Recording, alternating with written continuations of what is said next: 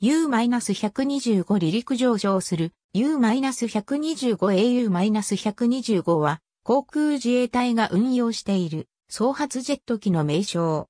U-125 が飛行点検機 U-125A が救難捜索機として運用されている。機体原型は英国でハビランドが開発したビジネスジェット機 DH125 である。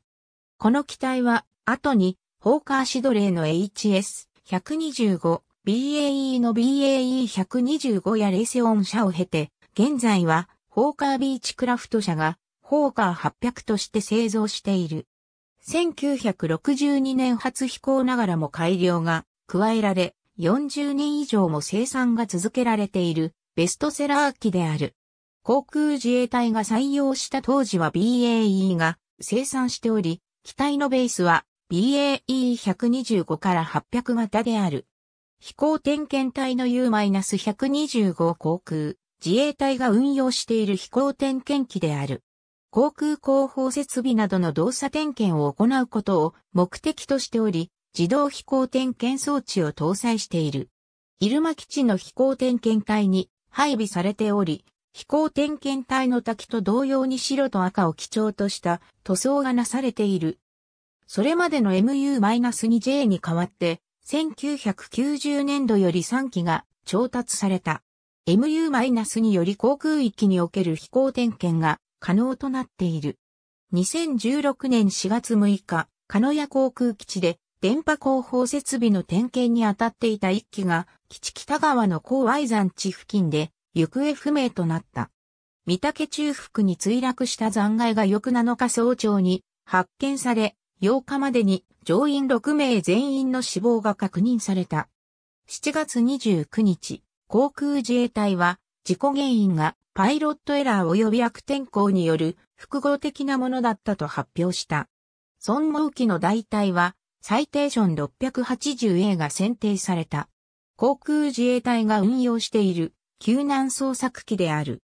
それまでの MU-2S に代わって、1994年から全国の航空救難団救難隊への配備が進んでいる。日本独自の救難思想に基づいて、国内で救難具設置などの内装工事を行った。救助機材投下のため左膠着装置収納庫内に、法命用援助物資の投下装置、左側後部胴体に救難用加工品の投下口を設けている。他にも、機体側面に大型捜索窓、胴体仮面に捜索用レーダーアンテナ、機種下部に収納式の赤外線暗視装置を搭載している。アビオニクスには自動操縦装置、飛行管理装置、管制広報装置、GPS などを採用し精密な広報能力を持つ。特に FMS には空自仕様として捜索パターン作成及びレーダー、タイで捉えた目標の精密な位置取り込み機能が追加されており、精密な捜索が実施可能となった。U-125 との外見上の違いとして、胴体仮面の膨らみや大型窓、操縦席前方窓のワイパー等が挙げられる。また、スラストリバーサーも設置されている。戦闘捜索救難も想定しており、視認性が低い青色塗装が施されているのが特徴である。航空救難活動にあたっては UH-60J ヘリコプターとユニットを形成して行動する。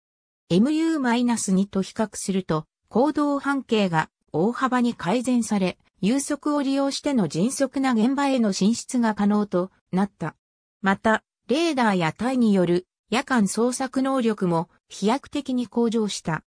これらにより洋上部での捜索能力は向上したが、一方で山岳部での捜索は低速性能の限界から旋回半径が大きくなり不利とされる。余剰水力が大きく翼面荷重も大きいため、乱気流にはある程度強いとされる。コールサイン、トライヤー、コールサイン、リジン。ありがとうございます。